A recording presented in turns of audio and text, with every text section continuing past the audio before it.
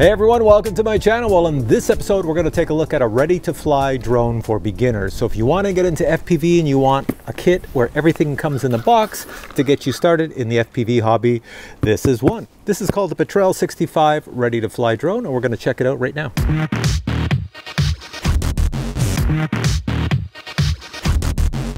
So everything you need comes in this really nice case and there's quite a bit in here. I'm going to show you most of it right now and tell you about it. So the first thing you'll want to know about is the drone. So this little guy right here, you can buy this separately or buy it in the kit. This drone is pretty cool. Here's what I like about it. You know, I'm trying to hang on to this same time. Here's what I like about it. The VTX, the video transmitter at the back, shoots out at 350 milliwatts. I've only got mine set right now to 200 so I save some battery power. But 350 is quite powerful for a little whoop. So if you're flying indoors or outside, you should be able to get a video signal back to you at a, quite a distance. The camera up front is a Caddx Nano Ant, which gives you pretty good camera quality. We're going to see that when I play back in the video. It does have an F4 flight controller. It does take a 1S battery. They do include two 1S batteries in the kit right here, so that should give you some flight time. I'm gonna guess, I haven't flown this, I'm gonna guess since these batteries are only 300 milliamp hours and they're 1S and the weight of this drone is not very much, but I'm gonna guess everything together, you're probably averaging maybe four minutes of flight time per battery. Of course, you get top quality motors on this little guy because it's from HGLRC, so they're 25,000 kV brushless motors, and they do have that really cool system on the bottom where you just plug them into the flight controller. So in other words, say, I don't know, say you destroy a motor and you need to buy a new motor, they cost next to nothing you get one and you just plug it in the bottom. It's that simple. Next thing I want to show you is the included controller. It is a T8 Lite controller by Radiomaster and Radiomaster is a big company. So pretty decent. I've had this controller in many different iterations with many different drones in the past and you've seen lots of reviews using this controller flying drones of all types. It's pretty decent. The thing that I like about it is you can plug a USB in the back and hook it up to your computer and practice on flight sims so you get the skills of flying FPV. Very good for that. It has tons of switches. They've already configured it out of the box so you don't have to hook it up to Betaflight and configure it yourself. So it's configured and I'm going to show you what all the switches do and if you have a pen and paper paper, write them down just so you know. I put labels on everything. So there you go. You can see my switches. It probably means nothing to you at the moment. And if I flick it this way, there's the other switch. Is that upside down? No, that's right side up. There we go. There's the other switches there, what they do. All right, so if none of my labels made sense to you, when I showed you the one that said off, arm, and air mode, that means off is your motors are not spinning. When you flick it to on, which is arm, then your motors spin and you can fly. And air mode just means you're gonna fly in a way that you can do flips and somersaults and everything else. Over on the other side, I have angle mode, horizon mode, and acro mode. So those are your different flight modes. I'll show you a picture right here of what you can do. So basically in angle mode, you are pretty much limited for stability flight. Uh, you can't do flips or anything. Horizon mode, your stability flight with some flips. And then of course, acro mode, you can just go crazy and do flips, everything like freestyle like a lot of us do when we fly. On the front, another switch called beeper. When you flick that, your drone will beep in case you lose it in the grass or someplace or in the snow. Uh, and your last one is flip over. That's in case your drone is upside down and you have your goggles on and you don't want to go get it. You put the flip over switch, move your joysticks, and then the drone flips over and then you arm it again and and fly away. For all the newbies out there, a little tip, just make sure when you power on this controller to fly it with your drone that you keep the left throttle stick down. This is a mode 2, so the throttle stick's on the left. Make sure all your switches at the front are all pushed down and then your drone will connect and you can go fly. All right, what else do I have? So you do get a set of goggles and these goggles here do come with two antennas put them on. I'm putting on the antennas right now. So as I'm putting the antennas on, let me tell you about the goggles. They're pretty straightforward. All the buttons are really well labeled on them. The display is pretty decent for a beginner. They're small in size, very light. They're rechargeable just like the the controller's rechargeable, everything's rechargeable here. You don't have to put batteries in anything. The only thing I will mention about them is a few things. One is you cannot put a micro SD card in them and record your flight. So the flight you're gonna see me flying today, I'm gonna fly with my Fat Sharks and record the video in here. But what I'll probably do is put a GoPro in front of this, looking straight in, and uh, you'll see what it looks like. Other thing to mention, they are small in size, so if you wear glasses like me, you cannot fit them over your glasses. They will not fit no matter what you do. So uh, yeah, if you wear glasses, these might not work for you. But like all analog goggles, these goggles will work with any drone that is analog that you buy in the future, so you can keep on using them if you wish. Other things you get in here, it's filled with stuff in the back. For your goggles, you have an audio video cable system in case you want to shoot other video in, I don't know, watch movies or something. You get a pile of instruction manuals for everything, plus stickers. Can't forget the stickers. I think you get two sets of USB cables for charging everything. You get a micro Phillips screwdriver. I'm just looking at what I see. You get a prop removal tool you get spare props as well for your drone. You get a connector in case you want to hook it up to Betaflight to do some configurations. If I missed anything, I'll show it to you right now. Now the last thing to say about this little guy is it is designed for indoor flight. It, it's advertised for indoor flight, indoor racing. You know, like if you're in a gym or you're flying around your house really fast. I'm outside of my backyard and uh, it's a little windy. It's not designed for the wind, but I'm gonna fly it out here in my backyard in a very tight space and see how it goes. So let's try it out now. Oh, the wind's picking up. This is gonna be fun. Here we go. Okay, so for this first flight, I'm just gonna take my hat cam here and uh, film it flying around in the wind. So I don't need uh, my fat sharks at the moment. I'm sliding on ice down here. I don't know if you can see it.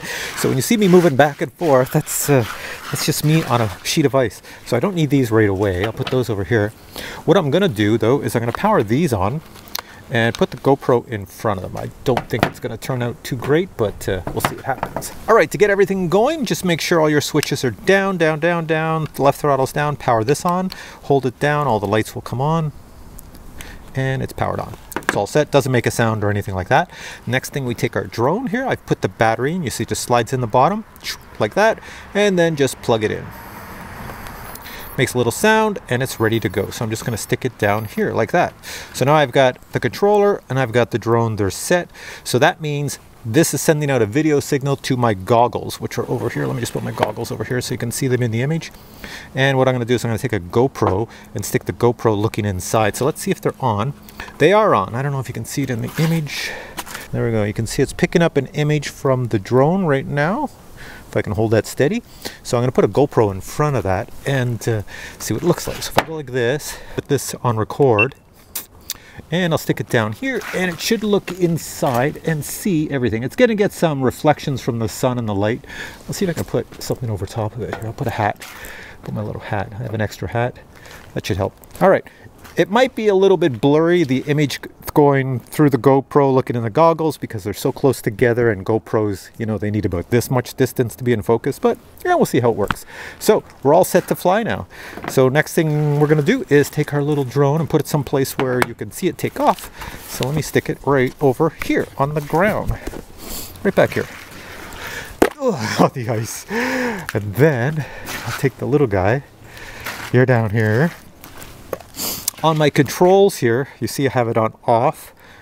Hopefully my hat cam picks this up off. And over here, I want to fly it in angle mode. So that means it's the switch all the way uh, down. So that's angle. Next one up is horizon, then uh, acro is the last one. So there we go. Make sure these are down. Beeper's off. Does the beeper work? You can barely hear the beeper. Here, here's the beeper. I'll hold up to the mic. Here's the beeper. Well, that's about as loud as it gets. All right, so let's fly it. The reason I say make sure your throttle's down, because if you have it up a little bit and you flick the switch, nothing happens. Your drone, your drone will not start up. But if it's down and then you flick the switch, the motors spin. Here we go. So I've got an angle mode. I'm taking it slow here so that you can see it in the camera. There it is right in front of me. So that's our little baby. And this is in the wind too, and look at it. It's really, really good. I obviously can't see the video, but the video is going into the, uh, the GoPro over there, so hopefully that looks pretty cool. Let's bring it over to the other little camera filming. Well, let's bring it down between these little cameras here. So I've got a camera filming over here. There we are. Whoa! And then I got a camera filming over there. Whoa! It's probably out of focus.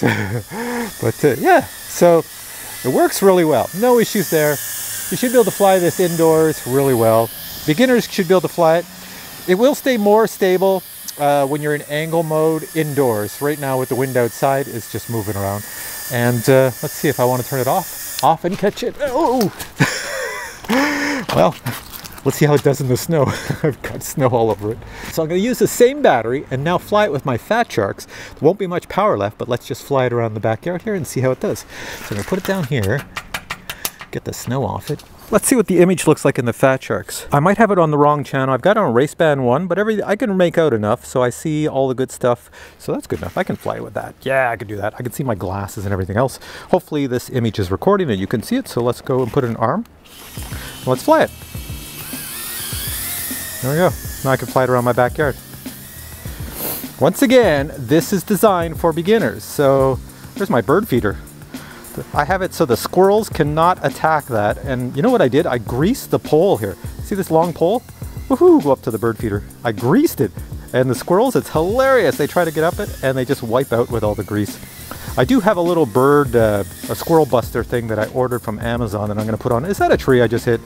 But uh, I don't have that yet. And as you can see in the backyard here, you notice that we have less and less snow. Yeah, it is melting away. I don't know why. It's almost like spring. All right, so you can see I'm having a fun time and I'm not even getting a low battery. And the video signal is shooting back to me at 200. At, whoa, let's go pull what the wind just got me. There we go. Now I'm getting the low battery. So low battery is due to the wind. The wind is blowing it around. I'm trying to control it.